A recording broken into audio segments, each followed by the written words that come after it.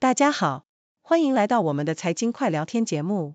今天我们要聊的是电商和快递界的最新动态。最近，电商平台可谓是热闹非凡，各大主播纷纷翻车，虚假宣传、封号、赔付等话题层出不穷，让人目不暇接，仿佛置身于一场大型真人秀中。而电商平台在去中心化的浪潮中，似乎也在悄然享受着流量分散带来的好处。另外，快递行业的发展速度更是惊人。自二零一四年以来，中国的快递包裹业务量稳居世界第一，二零二三年更是突破一千两百亿件，营收也突破万亿大关。其中，顺丰控股以一千三百四十四亿的营收领跑，显示出其在快递界的强大竞争力。顺丰的盈利能力更是逆天，二零二三年的净利润达到八十二点三亿，创历史新高，让人不禁想为他们喝彩。顺丰在业务多元化、技术创新等方面的优势显而易见，并且他们在高端市场的投资更是豪气冲天。总体来看，顺丰的稳健财务状况和持续增长的营收水平，让其成为快递物流行业的佼佼者。如果你也想了解更多关于顺丰的故事，请大家继续收看详细内容。嘿，老铁们，最近电商圈可真是热闹的不行啊！你瞧这，主播们一个接一个的上演翻车大戏，简直比好莱坞大片还精彩。虚假宣传、封号、赔付这些大戏轮番上演，搞得我都快搞不清楚谁才是今天的主角了。感觉就像在看一部持续更新的悬疑剧，真不知道下一个爆款剧情会是什么。不过呀，细细一想，这一场场风波背后，其实也是电商平台的一种策略。你看，之前那些大主播们的流量如滔滔江水，结果现在给分散到那些中小主播身上了，简直就像把一块巨大的蛋糕切成很多小块，大家都有份儿了。这种去中心化的操作，听起来是不是非常高大上？电商平台也是乐在其中吧，毕竟这样讲起来挺有范儿。说到电商发展，就不得不提我们快递行业的飞速飞升。从二零一四年起，我国的快递业务量直接登上了世界第一的宝座。二零二三年更是突破了一千二百亿件，你敢信？收入更是突破万亿大关，简直是个大写的牛字。想象一下，快递服务的营业网点超过二十三万处，日均服务超七亿人次。这规模，电商巨头们都得竖个大拇指吧？这简直就是一张巨型的蜘蛛网，遍布全国，连我家小区楼下的便利店都有快递点了，太方便了。话说回来，快递企业们的业绩那也是蹭蹭蹭的往上涨。顺丰控股、中通快递、圆通速递等七家快递公司，在二零二四年上半年就狂揽了两千八百亿的营收，净利润也达到了一百二十九亿，真是让人羡慕的不行。其中，顺丰控股可是大哥大的地位呀，以一千三百四十四亿的营收遥遥领先，简直是快递界的贵州茅台。从二零二零年到二零二三年，顺丰的总营收从一千五百三十九点八七亿飞速增长到两千五百八十四点一亿，复合年增长率高达百分之二十四点零，这简直就是坐火箭了。而顺丰的盈利能力也是杠杠的，二零二三年实现规模净利润八十二点三亿，创下历史新高，完美逆袭呀！这不禁让人感慨，顺丰果然厉害。从业务结构来看，顺丰的速运及大件业务表现相当亮眼，供应链和国际快递增速也非常迅猛，真是多点开花的节奏。不过，供应链和国际业务受到了些影响。营收有所减少，但同城即时配送却实现了扭亏为盈，让人倍感欣慰。顺丰的盈利能力在近两年逐渐恢复，销售净利率和毛利率都在提升，简直是好消息不断。顺丰在快递行业的竞争力也不容小觑，主要竞争对手包括中国邮政、EMS 等，但顺丰在时效件市场可是占据了大约一半的市场份额，简直牛气冲天。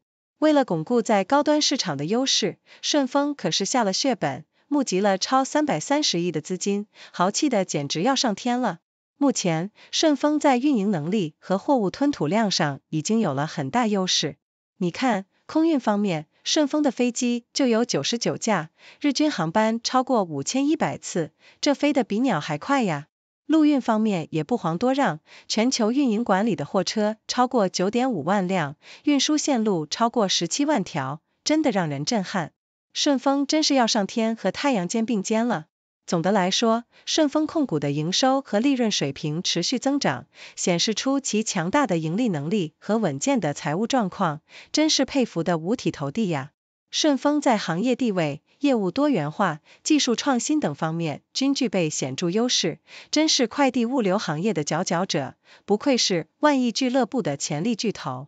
如果你也想了解更多关于顺丰的故事，记得去关注飞鲸投研，领取最有价值的投资报告哦。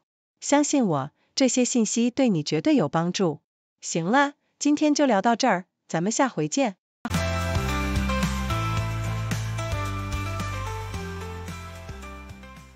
欢迎大家进入六度探索的辩论环节，我们从正反两个角度对本节目进行辩论，请出我们的辩论高手楚天舒、谢琪琪。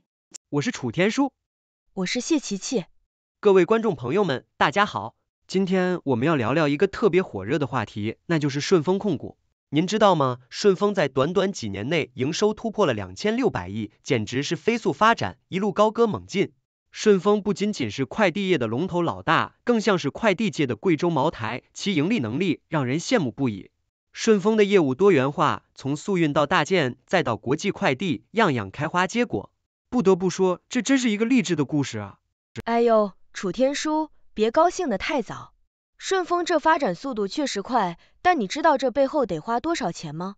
为了巩固市场地位，顺丰可是募集了超过三百三十亿的资金。打个比方，这都能买好几座金碧辉煌的空中楼阁了。还有，这么多资金注入后，顺丰的利润增长是否能持续？这可得打个问号啊！别忘了，快递行业可是竞争激烈，顺丰的对手们也不是吃素的，像中国邮政、EMS 这些老牌劲敌，随时可能反扑。哈哈，琪琪，你这是在担心顺丰的未来吗？但我们要知道，顺丰在业务创新和多元化方面可是有显著优势的。你提到的三百三十亿资金，顺丰可是用的相当有智慧，投入到技术创新和市场扩张上。你知道吗？顺丰的日均航班超过五千一百次，货车超过九点五万辆，这种规模和效率可不是一般公司能做到的。再说了，顺丰的速运和大件业务表现优异，同城即时配送甚至已经实现了扭亏为盈，可以说是兵来将挡，水来土掩。哎呦，楚大师，我可不是杞人忧天，我们得看看事实数据。顺丰二零二三年虽然实现了八十二点三亿的规模净利润，但这可是靠着不断的成本控制和优化才实现的。一旦市场环境变化，这种利润能否持续下去，我看还是个大大的问号。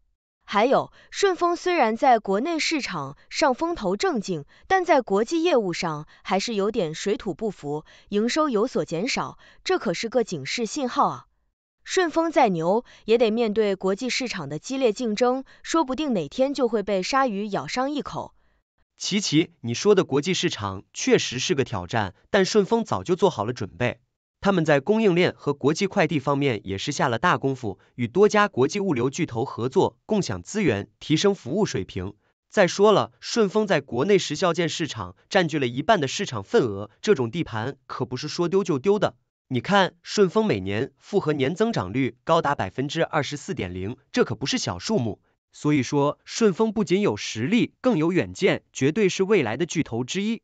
哎呦！楚大师，看样子你是顺丰的铁杆粉丝啊。不过我还是要提醒你，别忘了市场风云变幻莫测。顺丰固然强大，但也不能掉以轻心。你看那些曾经风光无限的巨头们，有多少现在连名字都没人记得了？顺丰要想在万亿俱乐部中站稳脚跟，还得靠不断创新和应对市场变化。毕竟得意莫忘形啊。